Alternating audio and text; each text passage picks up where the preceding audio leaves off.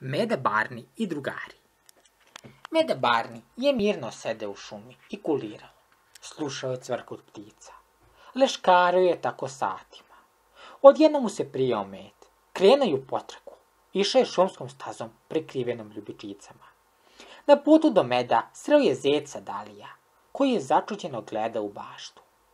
Barni ga je upitao u čemu je problem. Dali je odgovorio da mu je neko pokrao šargarepe i da sumnja na Vuka Vučka koji je tu radio da bi prodao njegove šargarepe Perici. Barni ga je gledao začuđeno. Zašto bi Perica plaćao nekog da ukrade tvoje šargarepe kad on ima svoje? Da li mu je odgovorio da on ima svoje, ali pogledaj koliko su moje šargarepe veće od njegovih. Mora da je ljubomora na mene. Ovaj razgovor čuje komšija Jarac Ostojić i priključio se razgovoru. Tako je komšija, imaš bolje šargarepe od perice, mora da je ljubomora na tebe. Ne daj se, ja i Milunka smo uz tebe. Nakon kratkog predaha, Ostojić je nastavio svoj put. Meda Barni je i dalje bio zbunjen. Meda Barni je rekao da on ne veruje da je perica ukrao šargarepe i produžio svojim putem u potrazi za medom. Da li je rekao, vidjet ćemo mi, u najmiću najbolje detektiva i krenuo prema listu Rikiju.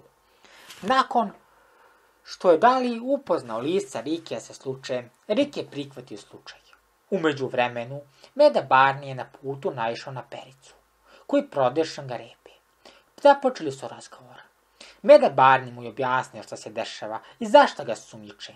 Perica je ostao u šoku i izjavio, moje jesu bile manje od njegovih, ali to je bilo do juče. Juče ih je mama donela i one su u korpi bile duplo veće nego što su obično. Medi Barniju je to bilo u redu i nastavio je put ka metu. Lisac Riki je krenuo u potragu za nestalim šargarepama. Naišao je na pericu i upitao ga kako su odjednom njegove šargarepe tako velike. Perica mu je objasnio da je mama juče donela takve šargarepe. Lisac je bio sumnjičav i rešio je da ispita Pericinu mamu. Pri prilasku kući Pericine mame začeo se plač. Riki je upitao, zašto plačeš? Ona je odmah započela priču. Vidite, ja imam, imam šargarepe, ali nisu velike kao kod komše Dalija. Moj Perica je tužan zbog toga. Dalijeve šargarepe su uvek prve prodaju i niko ne želi da kupi naše manje šargarepe.